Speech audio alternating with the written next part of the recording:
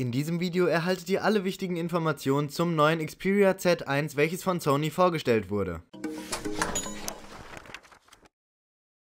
Das neue Sony Xperia Z1 wurde als eines von Sonys neuen Geräten auf der IFA in Berlin vorgestellt und ist der Nachfolger des Premium-Smartphones Sony Xperia Z. Äußerlich hat sich das Z1 zu seinem Vorgänger nicht wirklich verändert, denn die großen Neuerungen befinden sich unter der Haube. Zunächst hat das Xperia Z1 einen Bildschirm mit der Auflösung von 1080p Full HD und eine Bildschirmdiagonale von 5 Zoll. Die große Besonderheit des Xperia Z1 ist jedoch die 20,7 Megapixel Kamera, welche den gleichen Sensor besitzt wie einige Kompaktkameras, die Sony anbietet anbietet. Die Kamera ist eigentlich das Highlight des Sony Xperia Z1.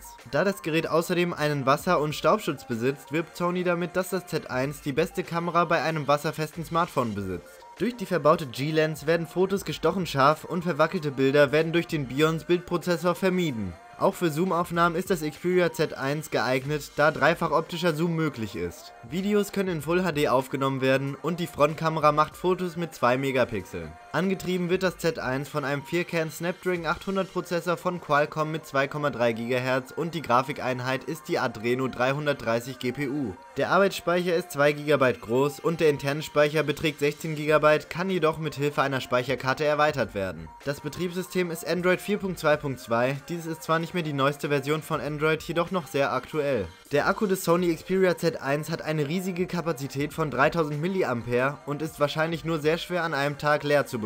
Als Konnektivitäten ist neben NFC, Bluetooth, Wi-Fi und GPS auch LTE verfügbar. Das Sony Xperia Z1 wird in schwarz, weiß und lila erhältlich sein. Ich hoffe dieses Video hat euch gefallen, lasst es mich doch mit einem Kommentar oder einem Daumen hoch wissen. Vergesst außerdem nicht mich zu abonnieren, so könnt ihr meine wöchentlichen Videos verfolgen. Das war LiveTech.de mit einem kleinen Ausflug in die Welt der Technik und ich bedanke mich, dass ihr dieses Video gesehen habt.